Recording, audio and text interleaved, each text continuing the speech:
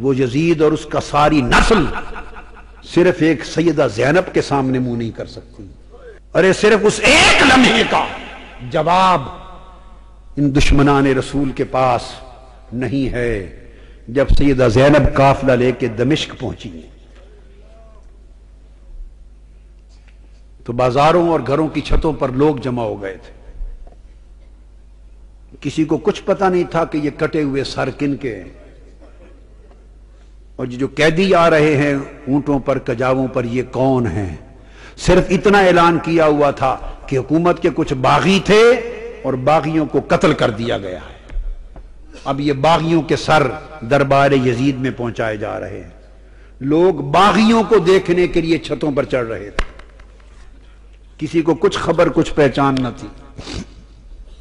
ہجوم ہو گیا۔ کافلا رک گیا بازار دمشق میں۔ آج وہ بازار سو کے حمیدیہ کہلاتا ہے۔ چھتا ہوا ہے آج بازار، دمشق۔ کا وہ روٹ تھا، جہاں سے وہ مسجد اموی جو ہے، اس طرف دربار یزید کی طرف مڑ کے کافلا جانا تھا۔ بھیڑ ہو گئی کافلا رک گیا۔ بھوک تھی، پیاس تھی، پریشان حالی تھی۔ تو چھتوں پہ جو لوگ چڑھ گئے تھے، ان میں ایک خاتون بھی چڑھ گئی تھی، بوڑھی۔ اس خاتون نے دیکھا، قیدی ہیں۔ مسافر ہیں، پریشان حال ہیں۔ اس نے پانی بھیجا، کچھ کھانے کی چیزیں بھیجی کچھ کپڑے بھیجے، دوپٹے بھیجے، ضرورت کا سامان بھیجا۔ سیدہ زینب نے سارا کچھ دیکھ کر اس خاتون کو بلوایا۔ جب وہ قریب آئی تو فرمایا کہ بی بی تو نے ہمارے ساتھ بڑی نیکی کی ہے۔ کوفہ سے لے کے دمشق تک کسی نے ہمیں پوچھا تک نہیں۔ کسی نے ہمارے حال کی خبر نہیں لی۔ تم کون ہو؟ اور ہمیں کیا سمجھ کے ہم سے اتنا اتنی بھلائی کی اس نے کہا، میں اور تو کچھ نہیں۔ میں اپنی اوائل چھوٹی عمر میں مدینہ رہتی تھی اور حضرت سیدہ فاطمہ تو زہرا کی خادمہ تھی۔ پھر جب ان کا وصال ہو گیا تو مدینہ چھوڑ کے دمشق آ گئی۔ پھر وہاں نہیں رہی۔ تو تم نے اتنی نیکی کی ہمارے ساتھ، کیا سمجھ کے؟ اس نے کہا، مجھے اور تو کچھ معلوم نہیں۔ تو جب آخری وقت تھا حضور سیدہ کائنات کا، تو میں نے عرض کیا بی بی مجھے کوئی وسیحت کر دیں۔ وسیعت کی عمر بھر عمل کروں۔ تو انہوں نے مجھے جانتی تھی کہ میں دمشق سے ہوں۔ انہوں نے مجھے وسیعت کی تھی۔ فرمایا تھا، بیٹا ایک ہی وسیعت ہے، کبھی قیدی نظر آئیں تو ان سے اچھا سلوک کرنا۔ زندگی میں کبھی قیدی نظر آئیں تو ان سے اچھا سلوک کرنا۔ میں نے تو دیکھا ہے قیدی ہیں اور مجھے ان کی وسیعت یاد آئی ہے۔ زندگی میں پہلی مرتبہ موقع ملا ہے تو میں نے سیدہ فاطمت الزہرا کی، اپنی مخدومہ کی۔ میں نے نصیحت پہ عمل کر کے قیدی جان کے تو یہ سارا کچھ کیا ہے۔ سیدہ زینب رضی اللہ تعالی عنہ اور سلام اللہ علیہ فرمانے لگی، اللہ تیرا بھلا کرے، تجھے اجر دے۔ بتا، تو نے ہم سے اتنی نیکی کی، بھلائی کی۔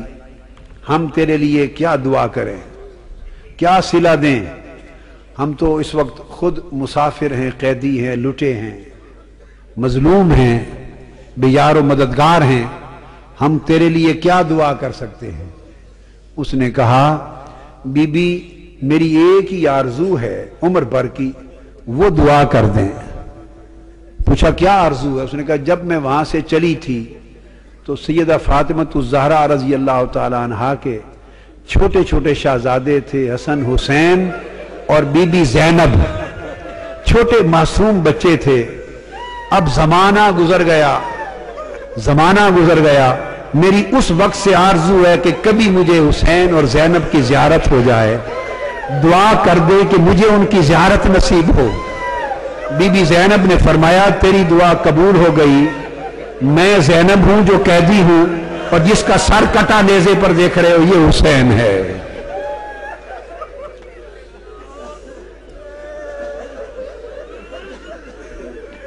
اللهم صل على سيدنا ومولانا محمد وعلى آله وصحبه وبارك وسلم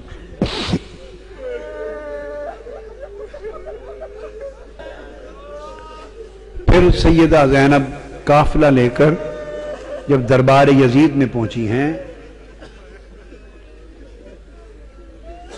تو اس بدبخت نے حکم دیا کہ یہ جو قیدی ہیں میرے سامنے پیش کیے جائیں اور گستاخانہ انداز کے ساتھ سیدہ زینب اور سیدنا امام زین العابدین کی طرف مخاطب ہوا۔ آپ کے ساتھ وہ ضعیفہ مائی تھی جو سیدہ کائنات، سیدہ فاطمت الزہرا رضی اللہ تعالی عنہ کی خادمہ تھی اور جنہوں نے اپنی گود میں حسن حسین اور زینب کو پالا تھا۔ ان کا نام تھا فضا ان حضرت فضا کا مزار آج بھی دمشق کے قبرستان مقبرہ باب الصغیر میں ہے۔ اہل بیت اطہار کے ساتھ ہی۔ وہ ضعیف تھی، ضعیف۔ اس وقت بوڑھی بڑھاپے کی وجہ سے جھک گئی تھی۔ کمر سیدھی نہیں ہوتی تھی۔ وہ کھڑی ہو گئی جوش میں۔ جوش میں کھڑی ہو گئی۔ اور فرمانے لگی، بدبخت یزید۔ تم جن کو باندیاں کہہ رہا ہے، یہ قیدی باندیاں پیش کی جائیں۔ خبردار۔ یہ دنیا اور آخرت اور کل کائنات کی مالک وارث ہیں، تاجدار کائنات کی شہزادیاں ہیں۔ تمیز سے بات کر۔ یزید نے اپنے فوجیوں کو دیکھا اور کہا کہ یہ بری خاتون کون ہے جو جسارت اور بے ادبی کر رہی ہے ہمارے دربار میں۔ اس کی خبر لو۔ اس کے فوجی اٹھے۔ انہوں نے تلوار لہرائی۔ ڈرانے تمکانے کے لیے بی بی فضا رضی اللہ تعالی عنہ کو۔ بس اتنا عمل کرنے کی دیر تھی کہ خود یزید کے فوجیوں میں۔ درجنوں، سینکڑوں فوجی حبشہ کے رہنے والے تھے۔ اور بی بی فضا بھی حبشہ سے تھی۔ یزید کی اپنی فوج کے حبشی جوان۔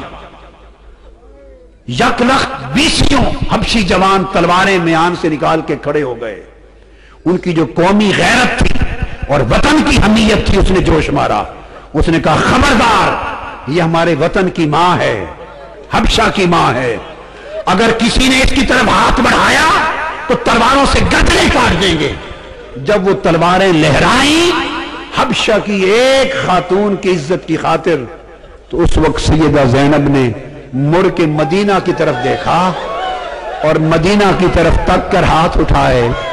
اور عرض کیا، بابا، آج حبشہ کی ایک بیٹی کے لیے سینکڑوں تلواریں نکل آئی ہیں، مگر آج آپ کی بیٹیوں کی حفاظت کے لیے کوئی شخص یہاں موجود نہیں۔